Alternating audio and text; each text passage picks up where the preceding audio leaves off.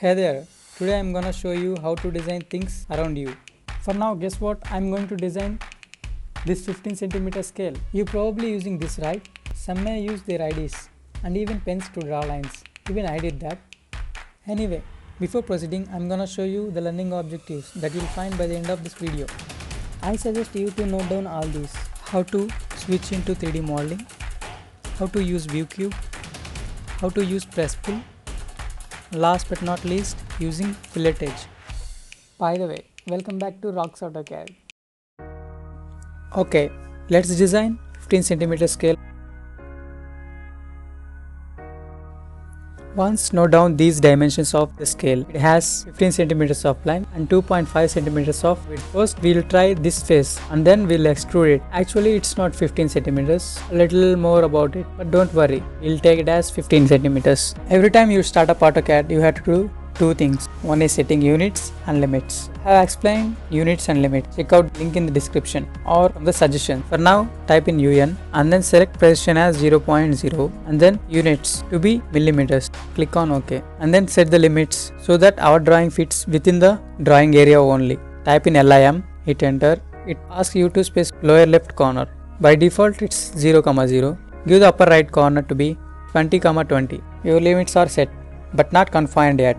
For that type in Z, Z for zoom, hit enter and A for all, hit enter. I am extending a little bit this command bar so that I can clearly see what happening. Firstly we are going to draw this face. The length of the face is 2.5 centimeters that is 25 mm. Type in L, hit enter, select a point. I am working on only vertical and horizontal lines.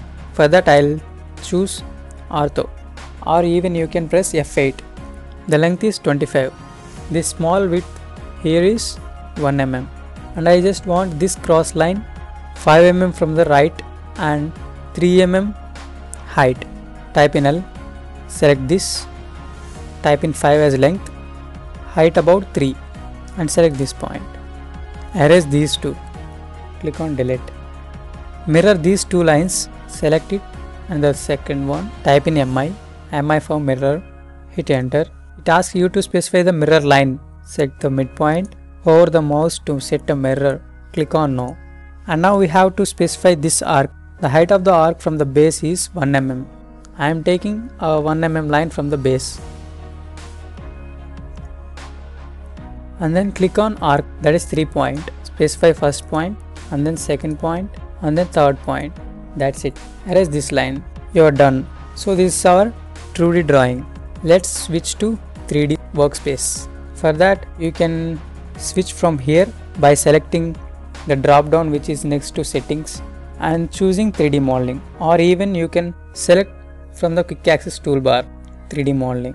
If you haven't found this choose the drop down which is next to quick access toolbar and then enable works so that you access it. Select 3D modeling I just want to extrude it.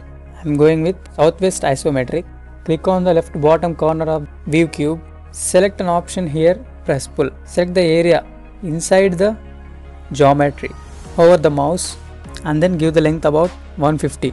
This is how it look like. To change orientation of this object, hold scroll button and shift and hover the mouse in 2D wireframe. I just want to see it as realistic. For that, hover the mouse to visual style controls and then select realistic. Your object seems somewhat real now, right? It's almost finished, but not fully defined. Observe these edges. Too sharp, right? Observe our object to be needed. So that we have to remove these sharp edges. For that, we have a fillet option.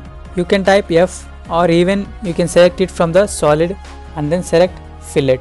I just want these edges about a radius of 2 mm hit enter and then hit enter. And again select fillet to remove these sharp edges and give the radius value to 1 hit enter. And then we have to create one more fillet for this edge as well as for the bottom one. Select fillet and give the radius value to 0.5 hit enter. Select the edges that you want to fillet Select end to end. Zoom in further if you can't see properly. And then hit enter. Your object is finished now. Let's delete this 2d drafting. For deleting the 2d draft select all and then hold shift and then select the object so that only 2d draft is selected and press delete. That's it. This is how your 15 centimeters scale look like. Exactly